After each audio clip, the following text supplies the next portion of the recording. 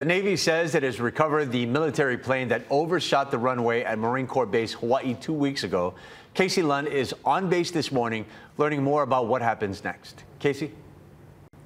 Hey, good morning, Steve. And you'll remember we brought this to you as breaking news when this all unfolded about two weeks ago. It was Monday, November 20th. Uh, here on the runway, we want to show you a look at that uh, P-8A Poseidon uh, aircraft, that jet that uh, went into the water after that failed landing, again, on Monday, November 20th. The military says it took about 13 hours to get that up onto roller bags out of the water and back onto the tarmac here. We also learned that the landing gear on that aircraft was uh, undamaged. So again, we have heard from Navy leaders that say they want to get this plane eventually uh, back into service here. That may take some time though as the investigation into exactly how this all unfolded is still ongoing. We do know uh, a little bit more about the potential impacts to the reef here at the end of the runway in Kaneohe Bay. We heard from military leaders as well as DLNR. They've been working closely uh, with state partners to try and assess exactly uh, how the reef may have been damaged. Of course, they put those booms, those absorbent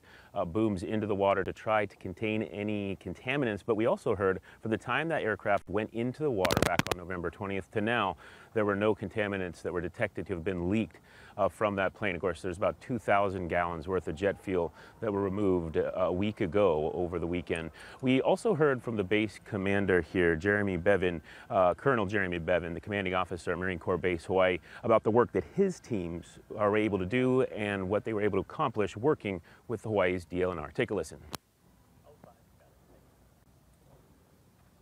I'm incredibly pleased with what has been accomplished, but more importantly, the way in which it was accomplished. Uh, as I said last week, on several occasions, my expectations since the very beginning of this incident was that anything that we did was going to be thoughtful, it was going to be measured, and we were going to have robust conversation about what we were going to do with an eye towards both safety, uh, but also with towards the environment to, to mitigate the effects to the degree possible.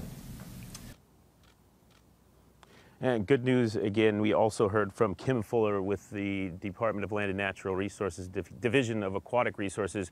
Uh, they have been able to work with military divers. They were able to get in the water with them on Sunday. That happened yesterday to get an initial assessment. They say, uh, of course, there is some damage to the corals here uh, at the end of the runway, but the extent of that really still isn't known. They still have some work to do. We also, again, uh, heard from uh, base leaders who say they will be modifying uh, some of the runway operations here, but that really won't impact things at Marine Corps Base Hawaii in any serious way. For now, we'll send things back into the studio with Steve.